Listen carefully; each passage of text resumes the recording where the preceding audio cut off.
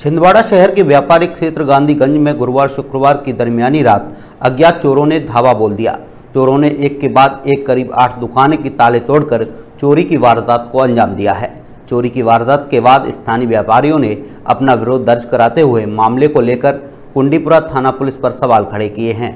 गांधीगंज स्थित लगभग आठ दुकानों में चोरों ने ताला तोड़कर यहाँ रखे कंप्यूटर, सामान और लाखों रुपए की नकदी पर हाथ साफ़ कर दिया है।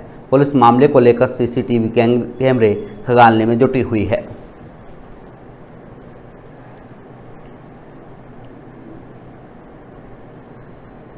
आज गांधीगंज इलाके में अर्ली मॉर्निंग चोरी की सूचना प्राप्त हुई इसमें लगभग सात आठ दुकानों के ताले टूटे हैं और इस पर जाँच जारी है। हमारी dog squad team, fingerprint team सभी आ चुकी है और सभी अपना काम कर रहे हैं। जल्दी हम इसका, चोरी का खुलासा करें